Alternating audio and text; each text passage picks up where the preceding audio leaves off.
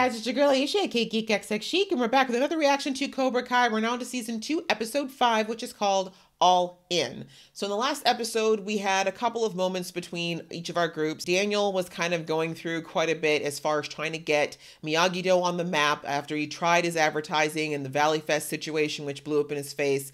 And so it helped Daniel come to the conclusion, however, of what Miyagi Do is actually about and what he wants to attract as far as the type of students that go there. And on the other side of things, Johnny unfortunately is falling further into the web that Kreese is webbing or Kreese is um, spinning as far as this whole poor me situation. He's falling for it hook, line, and sinker. And as far as the kids, we see that Sam and Aisha, they're just on two sides of a, a fence right now that they can't seem to overcome because of these belief systems that they have right now. And this new girl, Tori, has created a new, a fresh new wedge between them.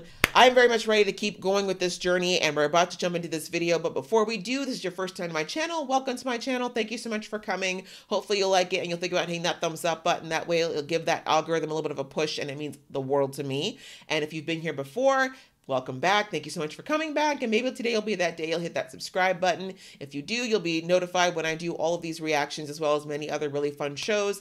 And we'd love to have you. We're on a march to 10K and I'd love it if you were here with me. All right, that out of the way, let's get into episode five right about now. Freak, loser, shit lip. It, it's not right. I feel bad because I know that his mom's heart was in the right place, but this kind of made it worse. You're gonna make an announcement?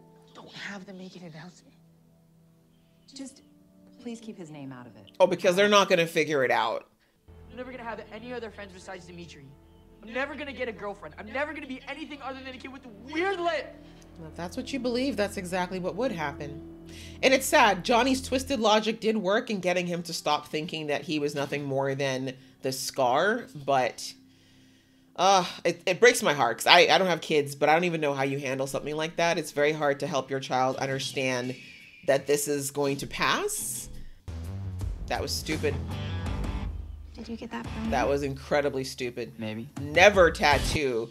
Never tattoo someone you're dating's name on you. Don't even do that with your marriage partner. I'm telling you.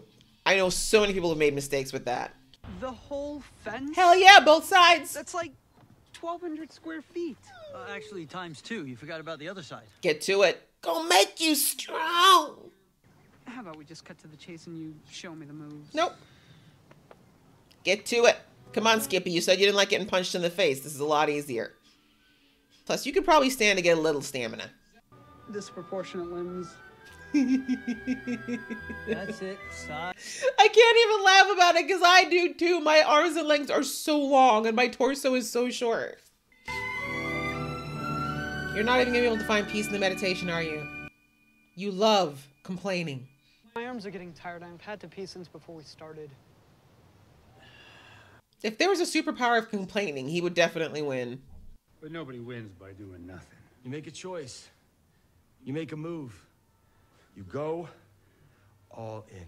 The only good part of that lesson that I found is true that doing nothing is still a decision and usually one that doesn't work, benefit anybody. Bobby wants nothing to do with me. I've tried. You tried, huh? So you just teach these lessons. You don't really take them to heart. That's about the only genuine thing that Kreese has said, and it's true. Johnny's got to make the decision that he's going to, if he wants to be in Robbie's life, he's going to have to earn that trust back, and that is going to take time. Because I prefer to be a shirt. Not saying that you have to be a skin, uh, unless you want to. I support your right to choose. Less is more, my friend. Less is more. He's so high maintenance. Show me sand the floor. You want me to sand it again? It's it's pretty smooth. No, no, not actually the movement. This reminds me in the movie me the when. Daniel kept bending down and Mr. Miyagi just hit his head. It was so funny. Ah! Why, why didn't you block?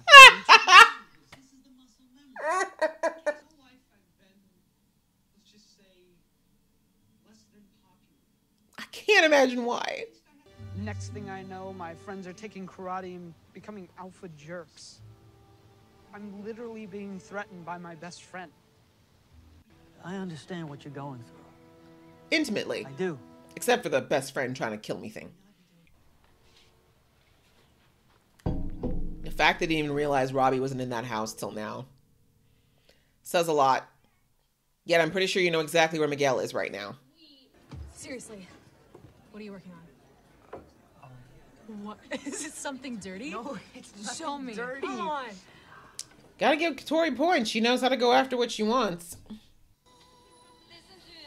Sam and I have this thing for octopuses or octopi. Octopi. It's kind of like our relationship mascot. She's like, don't care. I was actually hitting on you before this, but okay. That's why you do your homework first, girl. How much it must kill him to know he's got to go to Daniel to find out what's happening with his own son. But that's Johnny's fault. Even like parents with, you know, partial custody usually have the bare minimum of knowledge of where their kids are at. He lives with the LaRussos? Yeah. That's assault. I really would have called the police on him because Johnny needs to learn he can't just be be- beating people up. I saw your Yelp review. Take it down. Like seriously, my fighting over a? Yelp review. Look, Like two people ever read those.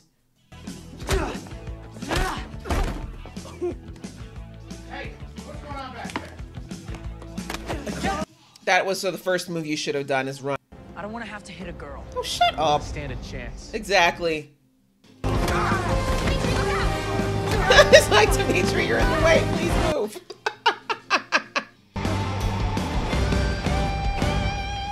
Balls. That's what you get, bitch. You jumped into his foot. You jumped into it. He's just standing there, as far as I'm concerned. Uh,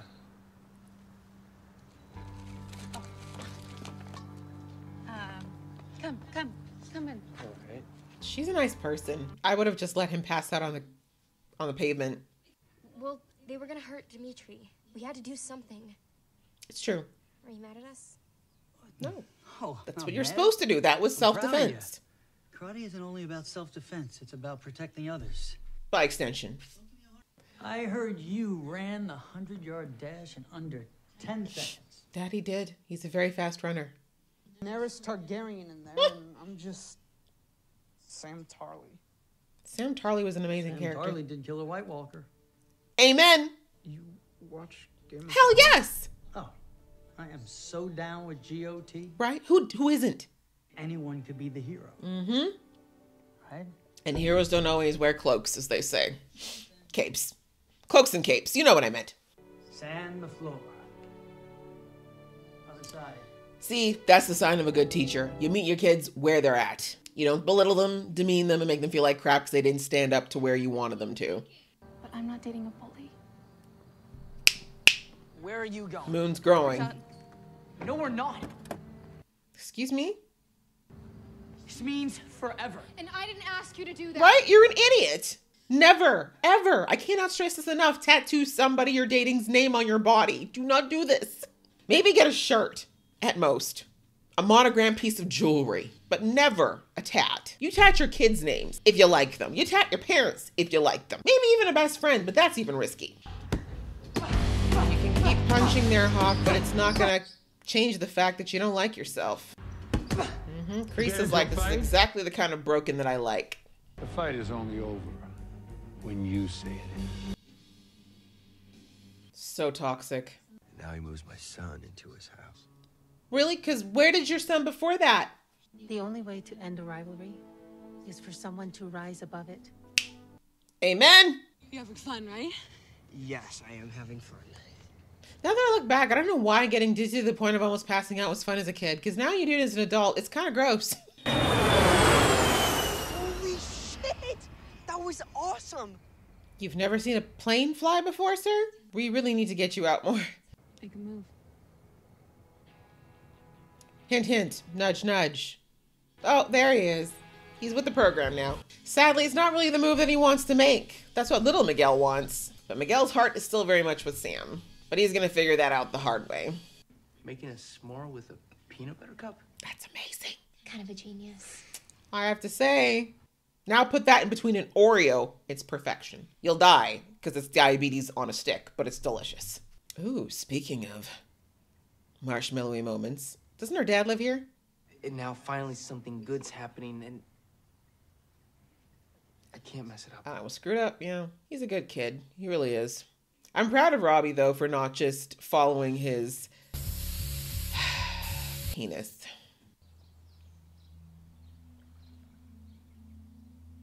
Straight out of the third movie.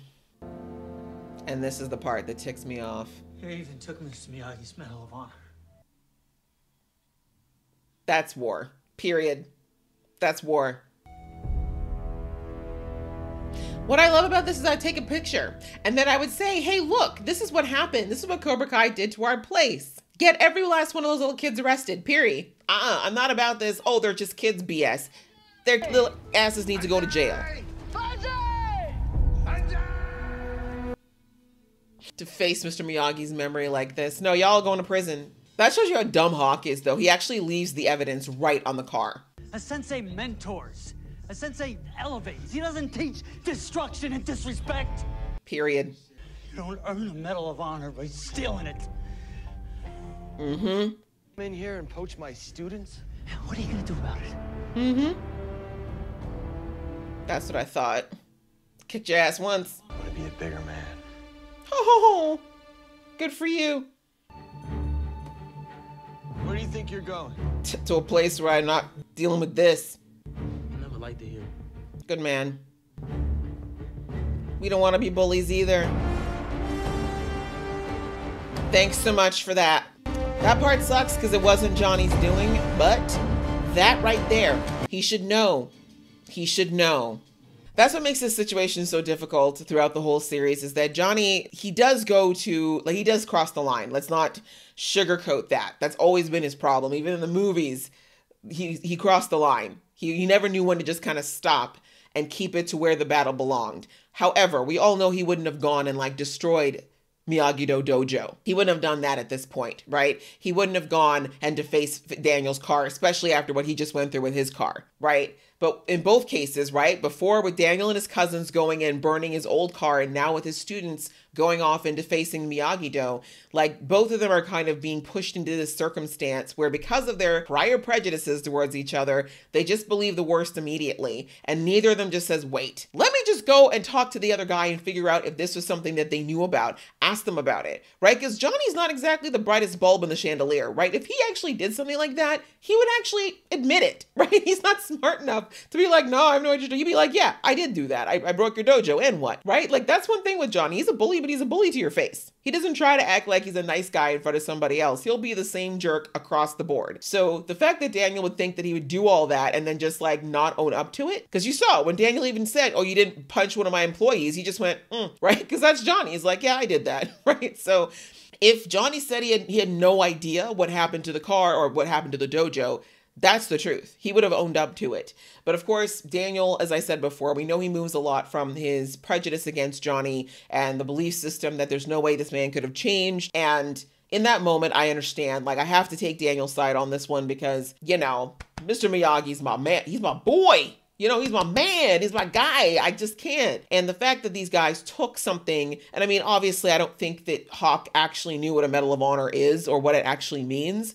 But to take it, that's just crossing a line. Like, that's Daniel's dad for all intents and purposes. And you stole something that's irreplaceable and irreplaceable in the sense of the sentimental value and it also what it means to their relationship the car as well the banana boat as they call it that was the very first car daniel ever owned it was the very first gift that mr miyagi ever gave him like there's just so much history and sentimentality in those things so Daniel was operating completely out of a place of real hurt. And I understand that entirely. If it had been the other way around, Johnny would have been just as angry.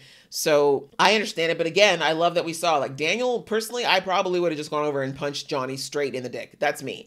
But the fact that he still managed to hold it together enough to be like, this is you, this is your philosophy, this is what you're doing. And I, what I loved about that scene in the dojo at the end is when Daniel said, Your teacher, a sensei, is supposed to elevate their students and to teach them to do better, not to destroy, right? And also the fact where he says that you know anybody who had any honor would know that the way to get a medal of honor is not by stealing it. And you saw it that hit hawk right? He was like oof. Even he knew that he crossed the line there and did something really, really wrong that I'm sure he did not feel any better for doing at the end of. But, you know, that those two things I think were great. And I mean, obviously it served the purpose because some of the students who clearly were already having an issue with the way things were being run at Cobra Kai and the, the bullying behavior in particular, because not all the kids are bullies, let's be real. Like, not all of them are going around trying to pick fights with everybody. But the ones who did see that behavior, they knew that was not for them and that's not the way that they wanted to go. So I'm really proud of that one kid for deciding, like, uh uh this never felt good. I don't like it. You know, it takes a lot. It takes a lot of strength to walk away from that pack mentality and walk away from people who you think are your friends and walk your own path when you know it's not the popular one. So, on the other side of things, loved the moments between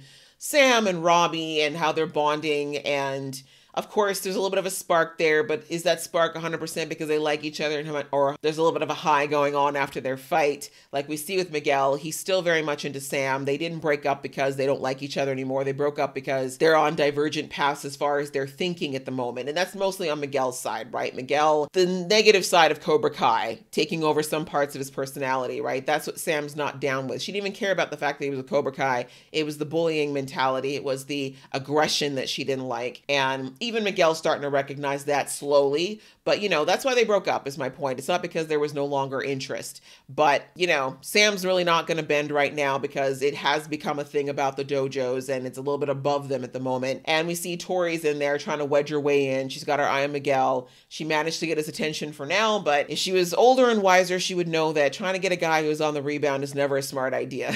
Tori's not the kind of girl I think that cares too much about those things or thinks that far ahead. And conversely, I really love seeing Robbie, you know, especially after hearing Daniel come in after their fight and show all this concern for him and then tell him that he's so happy he's a part of the family. Like that's something that Robbie has not felt like he's had a sense of family ever, I'm willing to bet. So to know that he's being seen as a family member to Daniel and be part of this family that, for all intents and purposes, is a pretty stable and happy and healthy environment. I completely understand how he's like, if I start, you know, sleeping with the boss's daughter, like that might be a line that I can't come back from. So, anyway, another great episode. I hope you guys enjoyed watching along with me. If you did, please give this video a thumbs up and we'll see you in the next video.